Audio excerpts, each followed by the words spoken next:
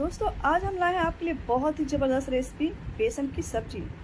इसका स्वाद बिल्कुल मछली जैसा लगेगा और आप जब एक बार इसको बनाइएगा तो इतना टेस्टी लगेगा कि आप इसको बार बार इसी तरीके से बनाना पसंद करेंगे। तो चलिए शुरू करते हैं। दोस्तों, स्वागत है आपका आरजे के किचन में रेनू की तरफ़ से। नमस्कार। आइए बनाते हैं बेसन की सब्ज़ी। इसके लिए हमने ये एक कटोरी भर के उससे थोड़ा सा कम हमने बेसन लिया है और फिर उसमें हल्दी पाउडर डाल दिए, फिर थोड़ा सा लाल मिर्ची पाउडर और ये हमने जीरा पाउडर डाल दिया है और साथ में ये हमने लहसुन का पाउडर, ये अदरक का पाउडर हमने इसमें ऐड कर दिया। और साथ में हम थोड़ा सा हींग डाल देंगे क्योंकि बहुत लोगों को बेसन जो है पचता नहीं है और साथ में स्वादानुसार नमक। तो हींग से जो है पाचन क्रिया बहुत अच्छी होगी। तो अब उसके बाद हम थोड़ा थोड़ा पानी करके डालेंगे इसमें और इसका एक अच्छा सा बैटर तैयार करेंगे। बिल्कुल ऐसे मिलाते हुए, बिल्कुल गांठे नहीं हो पड़नी चाहिए। इसलिए पानी हम थोड़ा थोड़ा करके डालेंगे और इसको हम अच्छे से फेंट लेंगे। बिल्कुल इस तरीके से। देखिए, बिल्कुल हमारा घोल बिल्कुल तैयार हो गया है।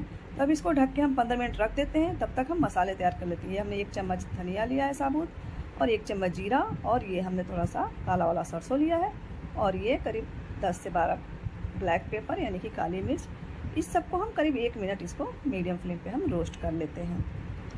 और इसके बाद इसको ठंडा करने के बाद हम इसको मिक्सी जार में पलट लेंगे। इसको कम से कम दस मिनट हम ठंडा करेंगे। और दो हमने लाल मिर्ची ली है और साथ में एक गांठ हमने लहसुन है, उसको छील के ले लिया है और ये एक इंची अदरक का टुकड़ा है। और इसमें हम आधा कप पानी डालेंगे और इसको हम बिल्कुल सॉफ्टली ग्राइंड कर लेंगे। बिल्कुल इस तरीके से इस मसाला हम तैयार कर लेंगे।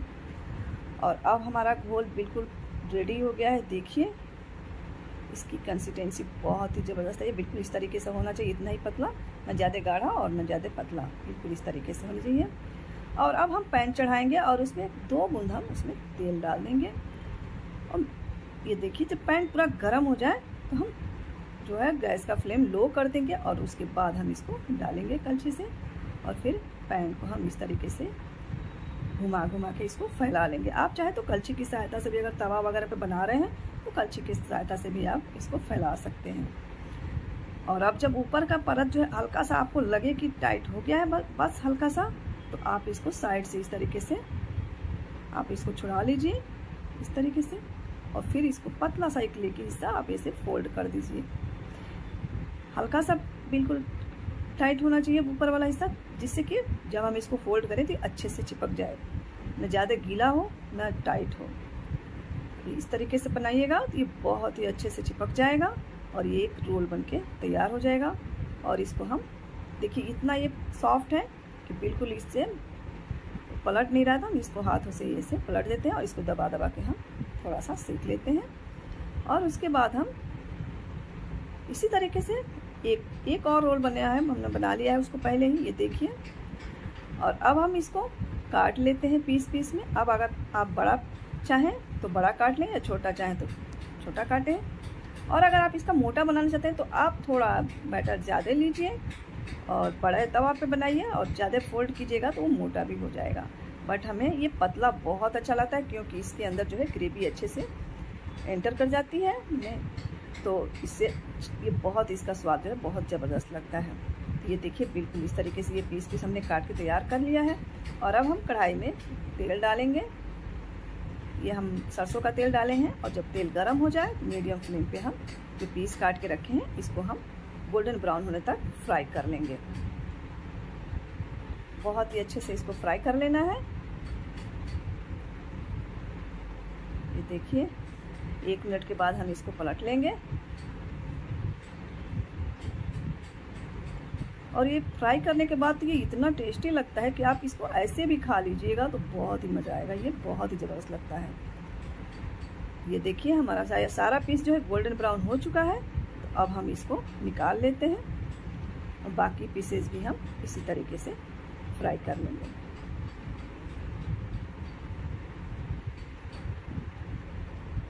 और ये देखिए, हमने बाकी पीस को भी फ्राई कर लिया है उसी तरीके से।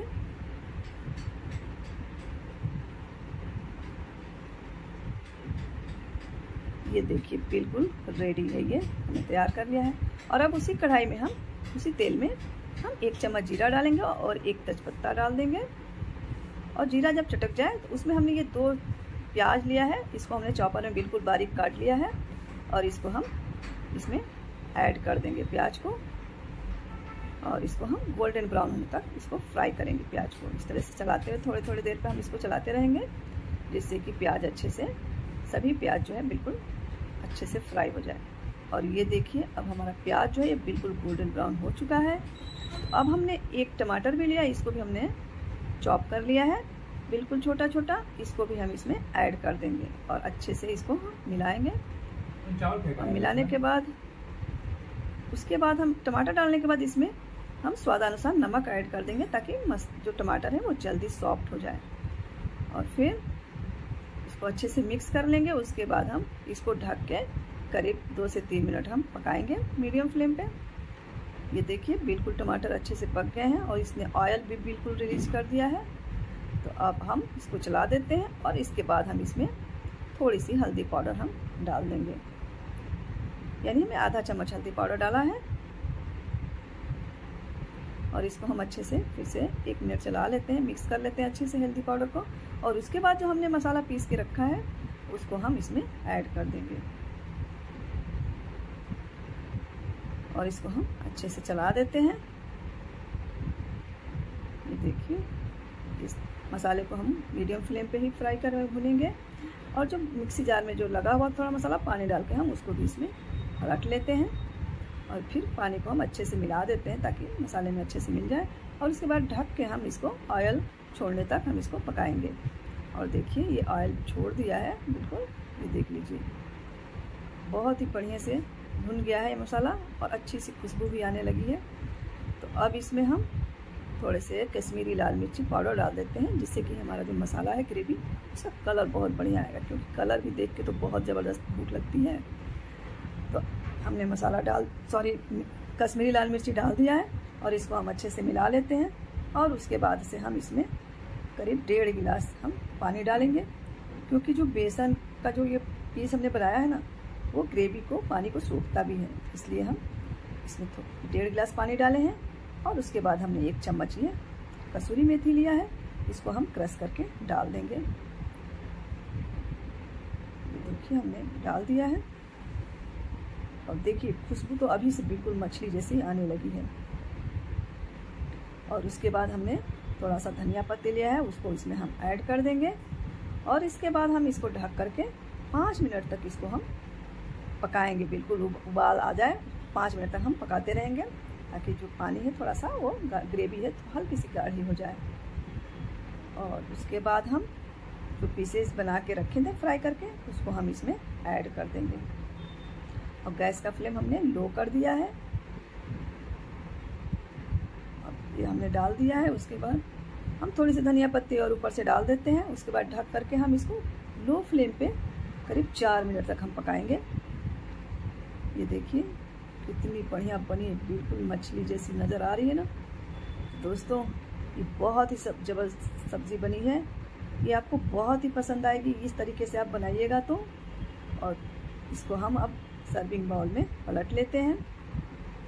ये देखिए कितनी ज़बरदस्त बनी है ये मछली। सॉरी, बेसन की सब्ज़ी। और ग्रेवी भी बहुत ज़बरदस्त है। ऊपर से हम धनिया पत्ती गार्निश कर देते हैं।